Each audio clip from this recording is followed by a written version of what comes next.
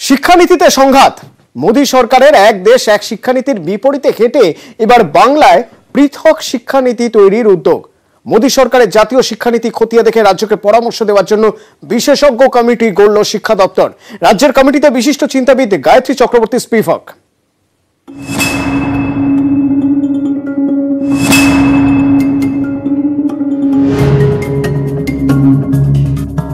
মোদী সরকারের জাতীয় শিক্ষানীতি নিয়ে প্রথম থেকেই প্রশ্ন তুলেছে রাজ্য।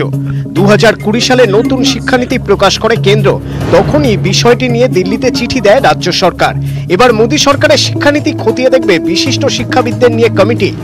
কেরালা মহারাষ্ট্র সরকার আগেই মোদী সরকারের পাল্টা শিক্ষানীতি তৈরি করেছে। শিক্ষানীতি পর্যালোচনায় রাজ্যের কমিটিতে দশজন বিশিষ্ট শিক্ষাবিদ। কেন্দ্রীয় শিক্ষানীতি ঘোষণার পর মহারাষ্ট্র এবং কেরাল সরকারের তৈরি শিক্ষানীতি পর্যালোচনা করবে কমিটি। জাতীয় শিক্ষানীতি ঘোষণার পরবর্তীতে ইউজিসি এবং শিক্ষামন্ত্রকের নির্দেশগুলিও খতিয়ে দেখবে। বাংলার পড়ুয়াদের ভবিষ্যতের কথা মাথায় রেখে রাজ্যের কোনো নীতি প্রয়োজন কিনা জানাবে কমিটি। রাজ্যের কমিটিতে রয়েছেন আন্তর্জাতিক খ্যাতিসম্পন্ন বিশিষ্টরা। কলম্বিয়া বিশ্ববিদ্যালয়ের university professor Gayatri Chakravorty Spivak, অধ্যাপক সুগত বসু। যাদবপুর বিশ্ববিদ্যালয়ের উপাচার্য সুরঞ্জন দাস দুর্গাপুরের ন্যাশনাল ইনস্টিটিউট অফ টেকনোলজির ডিরেক্টর অনুপম বসু। মৌলানা আবুল কালাম আজাদ প্রযুক্তি বিশ্ববিদ্যালয়ের উপাচার্য সৈকত মিত্র, শিক্ষাবিদ নৃসিংহ প্রসাদ ভাদুরী। রাজ্যের সিলেবাস কমিটির চেয়ারম্যান অভিক মজুমদার, সিস্টার নিবেদিতা বিশ্ববিদ্যালয়ের উপাচার্য ধ্রুবজ্যোতি চট্টোপাধ্যায়। উচ্চ মাধ্যমিক শিক্ষা সংসদের চেয়ারম্যান চিরঞ্জীব ভট্টাচার্য মধ্যশিক্ষা পর্ষদের চেয়ারম্যান কল্যাণময় গঙ্গোপাধ্যায়ও থাকছেন কমিটিতে। এটা একটা অক্ষম এবং অকর্মণ্য অনুকরণ। একেবারে বিদেশি শিক্ষার, বিশেষ করে আমেরিকা। ক্রেডিট সিস্টেম, তারপরে সেমিস্টার সিস্টেম এবং সেমিস্টারের ক্ষেত্রেও আমার নিজের বারবার মনে হয়েছে যে এই একশো তিরিশ কোটির দেশে যেখানে অনেক সময় পড়াশোনাটা ছাত্রছাত্রীদের মিলিয়ে দিতে হয়। সেইখানে দাঁড়িয়ে এই এই, এই- এই ধরনের সেমিস্টারের পড়াশুনো আমি ঠিক এ লাগে না। সকলের পড়াশোনাটা মানে যাতে যারা উন্নতি করবে পড়াশোনায়, তাদের ওপরে জোরটা বেশি দেওয়ার দরকার। কেন্দ্রের শিক্ষানীতিতে প্রাক প্রাথমিক থেকে উচ্চশিক্ষা পর্যন্ত একাধিক নীতিতে বদল করা হয়েছে। প্রথম শ্রেণির আগে তিন বছরের প্রাক প্রাথমিক শিক্ষার কথা বলা হয়েছে জাতীয় শিক্ষানীতিতে। স্নাতকের পাঠ্যক্রম হবে তিন বা চার বছরে। চার বছরে স্নাতক পাঠ শেষ হলে গবেষণার সুযোগ। কলেজ বিশ্ববিদ্যালয়ে ভর্তির জন্য এক দেশ এক পরীক্ষার কথা বলছে মোদী সরকার। শিক্ষা যৌথ তালিকায় সেদিকে নজর রেখেই পড়ুয়াদের স্বার্থে পদক্ষেপ করবে রাজ্য। পয়লা বৈশাখের পর কমিটির প্রথম বৈঠক। দু মাসের মধ্যে রিপোর্ট পেশ করবে কমিটি। এখন দেখার এই বিশেষজ্ঞ committee national education policy two zero two জিরোর কোন অংশটিকে গুরুত্বপূর্ণ বলে বিবেচিত করে এবং তা রাজ্য সরকারের দ্বারা তৈরি নতুন শিক্ষানীতিতে অন্তর্ভুক্ত করে। ক্যামেরায় সুমন বোসের সঙ্গে সোমরাজ বন্দ্যোপাধ্যায় নিউজ এইটিন বাংলা কলকাতা। তিনটি বাস মিলিয়ে চল্লিশ জনেরও বেশি পড়ুয়া অথচ খোঁজ নেই তিন তিনটি বাসের। চার ঘণ্টা ধরে টান টান উত্তেজনা চরম উদ্বেগে অভিভাবকরা অথচ হেলদোল নেই স্কুল কর্তৃপক্ষের। ভুল কার? এ নিয়েই তোলপাড়। শেষ পর্যন্ত বাসের হদিশ মেলায় স্বস্তিতে সব পক্ষই।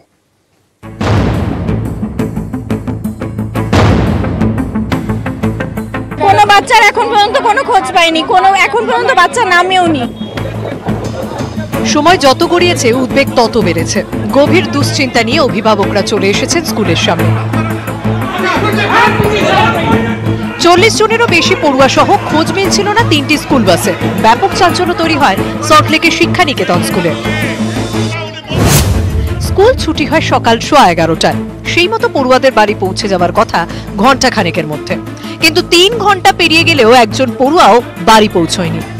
এরপরে দুশ্চিন্তা নিয়ে স্কুলে হাজির হন অভিভাবকরা। বাসের চালকদের সঙ্গেও যোগাযোগ করা যাচ্ছিল না বলে দাবি অভিভাবকদের। বাসের লোককে আমরা ফোন করেছিলাম কিন্তু কেউ ফোন ধরছে না।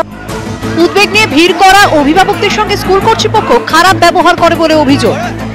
যখন প্রিন্সের সঙ্গে আমরা আগ্রহ করছি প্রিন্সিপাল ক্লিয়ারলি টেল যে তো আপনার বাচ্চা এখানে টিসি নিয়ে নিন। আমরা যে কমপ্লেন করছি একটা ইস্যু তৈরি হচ্ছে সেই কমপ্লেন করছি সেই কমপ্লেন এগেনস্টে তারা এগেনস্টে এটা বলছে। স্কুল কর্তৃপক্ষের এমন উদাসীন আচরণের মধ্যে খবর পেয়ে স্কুলে পৌঁছয় ইলেকট্রনিক কমপ্লেক্স থানা পুলিশ। পৌঁছয় সিআইডি টিমও মোবাইলে শেষ লোকেশন ট্র্যাক করে বাসের হদিশ পাওয়ার চেষ্টা শুরু হয়। সময় কাটতে থাকে বাড়তে থাকে উৎকণ্ঠাও। কালকে স্কুলে এসেছিল কালকে যথারীতি টাইমে গেছিল। কিন্তু আজকে এখনও অবধি আমি যাইনি। অবশেষে প্রায় চার ঘণ্টা পর খোঁজ মেলে বাসগুলি ফিরে স্বস্তি। কিন্তু কেন এমন হলো? ঘটনার দায় এড়িয়ে যায় স্কুল কর্তৃপক্ষ। ভোর রুটের বাসে উঠে পড়াতেই নাকি বিপত্তি। তবে এমন ঘটনা যাতে আর না ঘটে তার জন্য ব্যবস্থা নেবার আশ্বাস স্কুলের আরও রেগুলারাইজ করব বাচ্চাদের আই কার্ড দেওয়া যেটা বাচ্চা কোন বাসে কোন বাসে কোন রুটের বাসে দেওয়া আছে। আই কার্ড আরও একটা মানে ওদের identification mark things will be sorted out very smoothly বাচ্চা নিতে আসছে যিনি পার্সোনালি নেবেন বাচ্চা তিনি না পাওয়াতে বাসের মধ্যে ছিল বাচ্চা খুঁজে পাননি। একটু ডিটেন হয়েছিল বাসগুলো তাই পৌঁছতে দেরি হয়েছে প্যানিকড হয়েছিল অ্যাকচুয়ালি ঘটনার রিপোর্ট তলব করেছে জেলা শিক্ষা দপ্তর। বাসগুলিতে জিপিএস ছিল কিনা তা খতিয়ে দেখছে পুলিশ। শনিবার স্কুল কর্তৃপক্ষ, অভিভাবক এবং পুলিশের সঙ্গে বাস অপারেটর ও ড্রাইভারদের বৈঠক রয়েছে নিউজ এইটিন বাংলা। দিনের পর দিন লুট হচ্ছে মাটি। পৃথিবী চুরি হয়ে যাচ্ছে। এবার সেই খবর।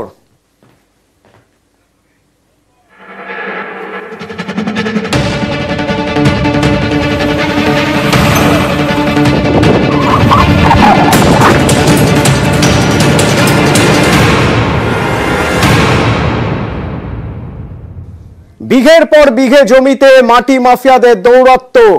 প্রশাসন নির্বিকার বলে অভিযোগ। হাওড়া জগৎবল্লভপুরে রমরমিয়ে অবৈধ কারবার, News eighteen Bangla exclusive.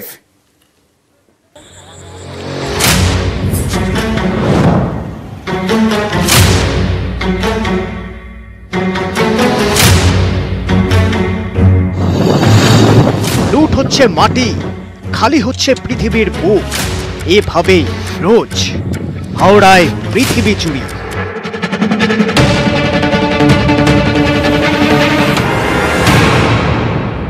Jagatballavpur বিধানসভা এলাকার মাজু মুন্সিরহাট বরগাছিয়ার বিভিন্ন জায়গায় খোঁড়া হচ্ছে এইভাবেই মাটি। সন্ধে নামতেই মাটি মাফিয়াদের দৌরাত্ম সরকারি হোক কিংবা ব্যক্তিগত বিঘের পর বিঘে জমি এখন মাটি মাফিয়াদের হাতে বলে অভিযোগ।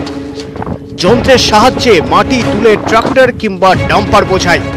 তারপর চলে যাচ্ছে বিভিন্ন এলাকায়। মুন্সিরহাট শঙ্করহাটি কিংবা বড়গাছিয়া। মাটি মাফিয়াদের রমরমা। মাটি মাফিয়াদের সেই ডেরায় নিউজ এইটিন বাংলা। সেটা কি করে জানব আমি? বাইরে না। বাইরের লোক আমার তো হাওড়া বাড়ি তোমার মেন হাওড়া। মেন হাওড়া কোথায়? এখানে মামার বাড়ি এসেছি। জায়গার নাম কি হাওড়া? হ্যাঁ? হাওড়া কোন জায়গা? হাওড়া যে স্টেশনের কাছে আমার বাড়ি। প্রশ্নের মুখে কেউ রীতিমতো আমতা আমতা। আবার কেউ নাকি কিছুই জানেন না। তারা নাকি শুধুই কর্মী। আপনাদের কাজটা কি? আমাদের গাড়ি গোনা। গাড়ি কোন কতগুলো গাড়ি বেরিয়েছে আজকে? এই চারটে গাড়ি গেছে। আমাদের পাঁচশো টাকা রোজ। রোজ? কজন আছে এবার? আমাদের তিন চারজন আছে। সকলেই তো তুলছে। সারা জগৎবল্লভপুরে চলছে। কারা মালিক ফালিক কিছু জানেন না? মালিক ওই বেচা বাবু আছে একজন। হ্যাঁ। নাম? হুম। ওর সাথে যোগাযোগ করুন।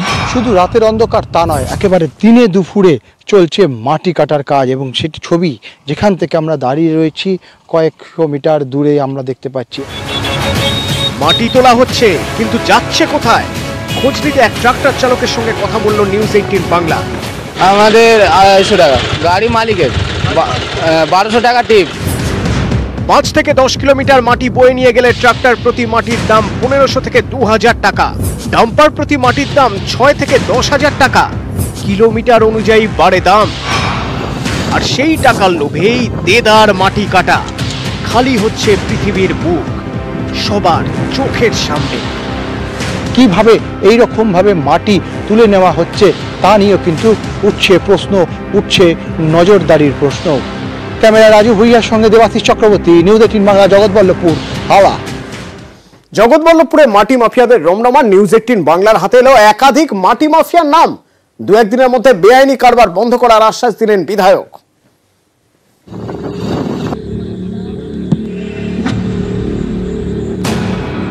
দিনে দুপুরে কিংবা রাতের অন্ধকারে মাটি লুট হচ্ছে হাওড়ার জগৎবল্লভপুরে।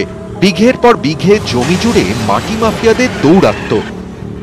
একেবারে রাতের অন্ধকারে প্রায় রাস্তা থেকে কয়েক কিলোমিটার দূরে এই ফাঁকা মাঠগুলিতে সবার চোখ এড়িয়ে, নজর এড়িয়ে চলছে মাটি তোলার কাজ। প্রশাসন জেনেও না জানার ভাব।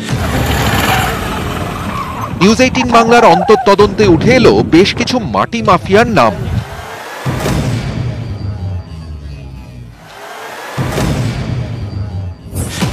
একদিকে রয়েছে বেচা ও মোক্তার। বেচা ওরফে পাচুর সাকরেদ আক্তার ও রিন্টু। অন্যদিকে রয়েছে ইয়াসিন খান ও ঈশা। অভিযোগ এরা রীতিমতো প্রভাবশালী যদিও দায় মানছেন না কেউই। আপনি এবং আপনার এক ভাই বোধহয় আছেন ঈশা খান। দুজন মিলে আপনারা মাটিটা আপনারা কাটছেন বেআইনি ওইখানে তো আরও সবাই কাটছে। বেচা কাটছে।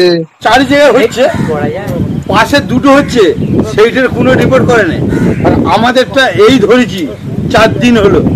আমারটাই রিপোর্ট হচ্ছে কি করে? মাটি মাফিয়াদের দুই গোষ্ঠীর লড়াইয়ে এলাকার শান্তি নষ্ট হচ্ছে বলে অভিযোগ।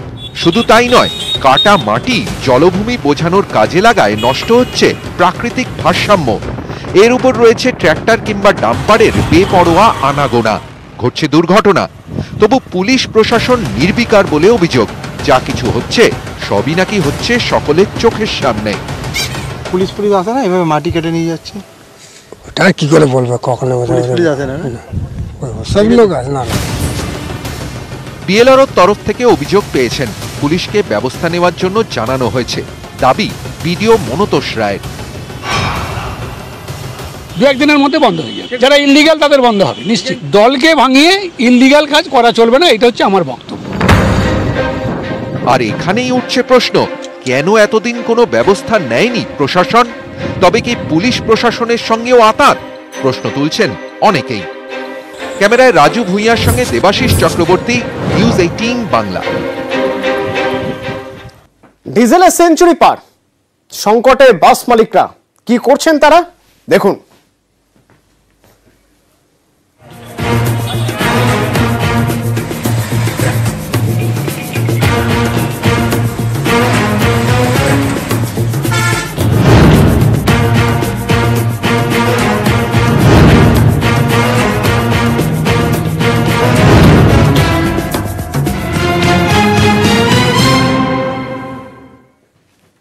কেরোসিনে চলছে বাস। কোথায় জানেন? বহরমপুরে। বাস গড়াচ্ছে কেরোসিনে। দেখুন। দেশ জুড়ে অগ্নিমূল্য পেট্রোল ডিজেল। মুর্শিদাবাদেও সেঞ্চুরি পার করেছে ডিজেল। চরম বিপাকে বাস মালিক, চালক, কন্ডাক্টররা। অভিযোগ, লাভ তো দূরের কথা, তেলের দামই উঠছে না। তাই এবার ডিজেলের জায়গা নিয়েছে কেরোসিন। বাস চলছে কেরোসিনে। এমনই ছবি বহরমপুর বাস স্ট্যান্ডে ড্রামে করে আনা হচ্ছে কেরোসিন তেল। ফানেলে করে সরাসরি চলে যাচ্ছে তেলের ট্যাঙ্কে। বহরমপুরে বিভিন্ন রুটে কেরোসিনে চলছে বাস। কতটা লাভ হচ্ছে বাস মালিকদের? ধরে নেওয়া যাক, বহরমপুর থেকে রামনগর ঘাট পর্যন্ত যাবে বাস। দূরত্ব চল্লিশ কিলোমিটার। চল্লিশ কিলোমিটার পথ যেতে বাসের প্রায় বারো লিটার ডিজেল লাগে।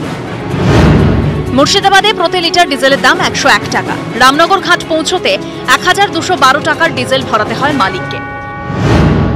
কেরোসিনে খরচ অনেক কম। এক লিটার কেরোসিন তেল আশি টাকা। কেরোসিন তেলে খরচ হচ্ছে নশো ষাট টাকা।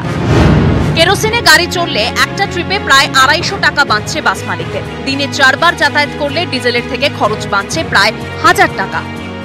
আমাদের সংসার চলছে না। এখন যা পয়সা দিচ্ছে আমাদের সংসার চলছে না। গাড়ি চলবে না তো? গাড়ি অটোমেটিক গাড়ি যাবে। কোন আপ ডাউন হচ্ছে কোন চারটে হচ্ছে কেরোসিন যারা হচ্ছে তারা ডিজেলের দাম বাড়ার লেগে হচ্ছে গাড়ি তো চলছে না তো? কিচ্ছু করার নেই আমাদের দাদা। বাধ্য হয়ে সময় সময় আমাদেরকে কেরোসিনে ভরতে হয়। আর দু হয়তো সামথিং দু একশো টাকা মালিক পাই কেরোসিন ভরলে। বাস চলছে কেরোসিনে। প্রশ্ন উঠছে এত কেরোসিন আসছে কোথা থেকে? বহরমপুর থেকে ক্যামেরায় গৌতম রায়ের সঙ্গে প্রণব বন্দ্যোপাধ্যায় নিউজ এইটিন বাংলা। ফের ডুয়ার্সের রাস্তায় চিতাবাঘের মৃতদেহ। আজ সকালে টুটুপাড়ার রাস্তা থেকে উদ্ধার রক্তাক্ত চিতাবাঘের দেহ। বেপরোয়া গাড়ির ধাক্কায় মৃত্যু। অনুমান বন দপ্তরের ঝাঁ চকচকে সড়কে গতি বেড়েছে আর সেই গতির শিকারী হচ্ছে বন্যপ্রাণ বারবার।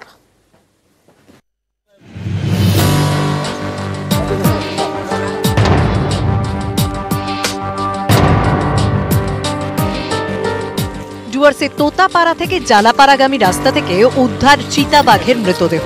শুক্রবার সকালে চিতাবাঘটিকে রাস্তার উপরে পড়ে থাকতে দেখেন চা বাগানের শ্রমিকরা। খবর দেওয়া হয় বিন্নাগুড়ি বন্যপ্রাণী স্কোয়াডে। বন দপ্তর সূত্রে খবর, মৃতদেহটি পূর্ণবয়স্ক পুরুষ চিতাবাঘের স্থানীয় এবং বন দপ্তরের আধিকারিকদের প্রাথমিক অনুমান, দ্রুতগামী গাড়ির ধাক্কায় মৃত্যু হয়েছে চিতাবাঘটি। একটা চিতাবাঘ পড়ে আছে ওর মাথা থেকে রক্ত বার হচ্ছিল। এই রাস্তা দিয়ে প্রচুর গাড়িও চলে। হতে পারে যে রাত্রে কোনো গাড়ির সঙ্গে চিতাবাঘের ধাক্কা লাগতে পারে। ডুয়ার্সে জঙ্গলের বুক ছিঁড়ে চলে যাওয়া জাতীয় সড়ক বন্যপ্রাণীদের মৃত্যু ফাঁদে পরিণত হয়েছে।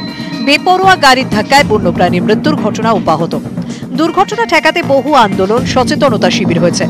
বিভিন্ন জাতীয় সড়কে গাড়ির গতি নিয়ন্ত্রণে সাইনবোর্ড লাগানো হয়েছে। কিন্তু মানছে কে? সচেতনতার অভাব থেকেই গিয়েছে। আর তারই বলি হচ্ছে, লেপার্ড থেকে চিতল হরিণ। হাতি থেকে বাইসন। এদিনের ঘটনা আরও এক সংযোজন মাত্র।